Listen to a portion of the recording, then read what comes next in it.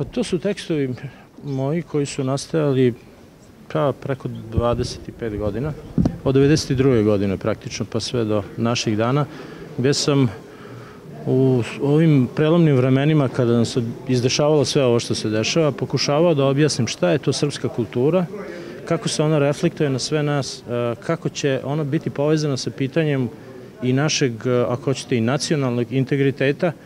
a pogotovo me je zanimalo naravno kako to stvari stoje u pogledu jezičkog, književnog i uopšte kulturnog identiteta. A ovde sam se u ovoj knjizi pod naslovom Istraga predaka sam se usredsredio na pitanje krize identiteta e, Crnogoraca